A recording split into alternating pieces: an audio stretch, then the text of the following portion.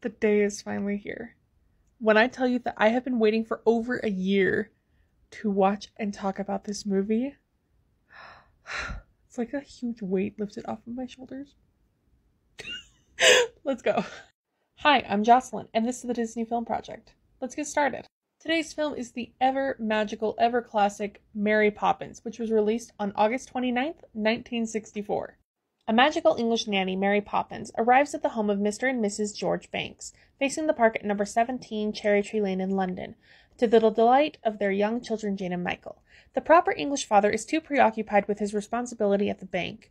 The mother, an ardent suffragette, is not really aware that their two children, left in the care of one nanny after another, are unhappy and unable to communicate with the parents they truly love. Mary Poppins has come to change all this. She settles into the house and soon has everyone wrapped around her little finger. Mary, along with her friend Bert and a host of chimney sweeps, teaches the children how to have fun, and in so doing makes the Banks household a happier place. By the time she opens her umbrella and flies off on a beautiful spring evening, the family is united together in the park, flying a kite.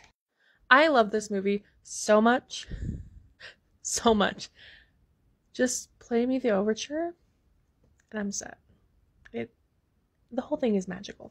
And so the fact that I couldn't so one of my one of my self-imposed rules for this project series is that I don't let myself watch movies within 30 years of whatever movie I'm currently on. And so I basically haven't been able to watch this movie since I started doing the videos for this project. Yeah, what now that now that I've done now that I'm doing this video, I can watch it whenever I want. But it was a long time going without this movie.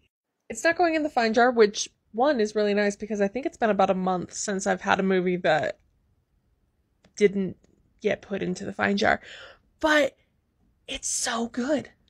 It is this it's such an amazing movie. The story is great. The characters, the casting, all the things. And while I love Mary Poppins the character because she is practically perfect, my fa- my favorite character is actually Mr. Banks because I love a redemption arc, a good redemption arc. And he has one of the best arcs I've ever seen.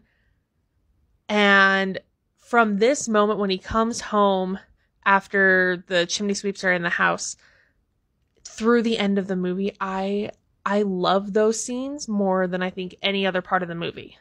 Of course I recommend this movie. It is one of the top tier Disney magic movies and it deserves to be watched and cherished and treasured.